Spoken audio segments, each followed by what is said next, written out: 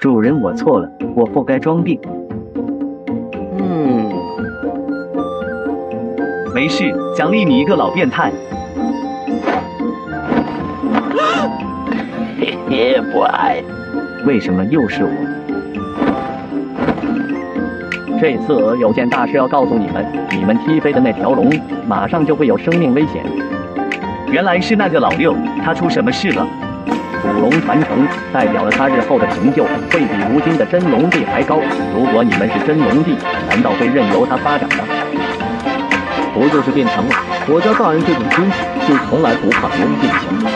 别找交气，那是格局不同，普通人能和主人一样吗？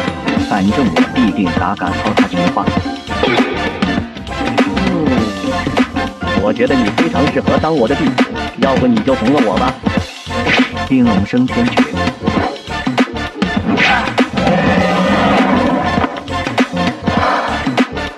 奶奶的，吓死人了！大爷，我们要管一管竹坤。嗯，我们怎么说也是一起从斗气大陆出来的。如今他遇到生命危险，我们当然得去吃他的席，聊表哀伤。这是碳基生物能说出来的话吗？有点像变态，不确定，我再看看。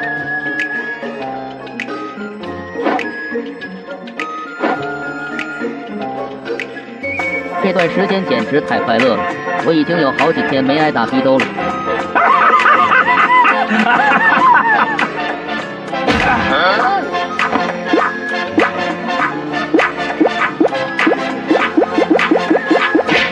无人胆敢在我太虚古龙头上动手。原来是，那没事了。你身上的气息，一看就是被我的魂天地爸爸打的。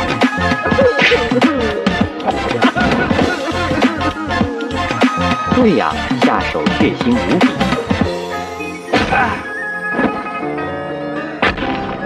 祖龙传承就是给了你。祖龙传承？什么祖龙传承？我怎么不知道？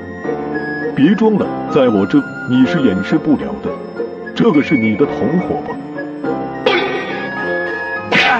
我和这个老六可不认识，我就是一个路过的路人甲。我看你也不像好人，跟我一起走吧。这不对吧？我觉得我也算是人畜无害啊。我不要你觉得，我要我觉得。